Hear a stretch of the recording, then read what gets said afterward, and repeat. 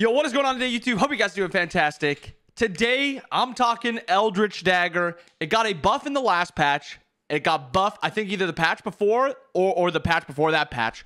And it's now officially at 15% protections. You get this benefit and the ability to see wards for 20 seconds. I've been building it a lot in ranked recently. Played it on some Tyr solo. When I blinked into team fights, I had an extra protections. Also, if I ever beads, I get cooldowns back up, and then I also get tankier. So it's just a few things that I was messing around with, and I think it's finally in a good spot. Let me talk about it. So on a lot of these somewhat tanky gods where, where you are allowed to go a damage item and they have like some relevant damage in their kit, like Charon, I've been messing around kind of building it on a god like him because with a build like this, you're sitting at about 270 protections of each. You'll be getting about 40 protections from this Eldritch Dagger passive, and also you'll be getting the ability to see wards. Now, why is that so exciting? A Couple things.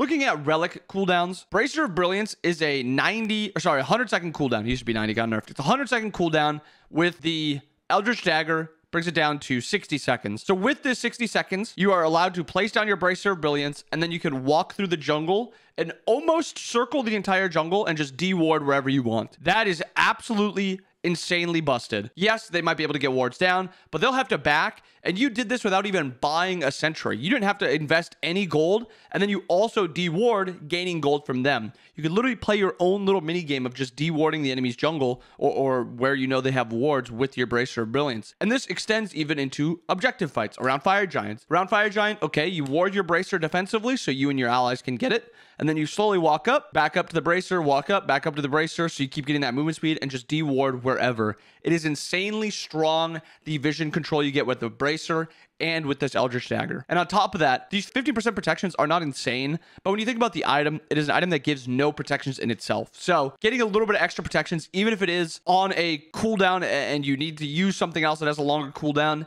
it doesn't really matter. You'll get it because a lot of the times you're using it around team fights. So when I played Tyr, I would go blink. Whenever I blinked in, as soon as I blinked in, I would get the benefit for 20 seconds and also the ability to see wards. Another cool thing where if you're playing like a backline dive character like Xing Chen and you start with blink, You'll get it on the blink, and then maybe, maybe it wears off five, six seconds.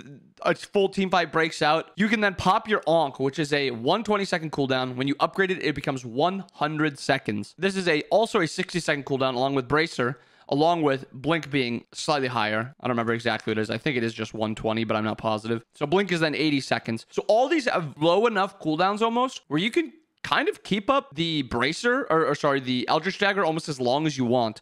On top of it, it's a somewhat cheap item, 2450 gold. It might not be as OP in ranked, but those protections are very strong in, in rank. My Tyr build that I ran, and, and I dominated this game, keep that in mind. I went this build. Yeah, you can see it. I went this build, so the Eldritch Dagger gave me more protections on this, and I did 41,000 damage, and I took 60,000 damage. It felt very good. But that's what the video is about. It's just about Eldritch Dagger. Try it out. Support solo. I probably wouldn't try it in jungle, but heck it, you could try it if you want.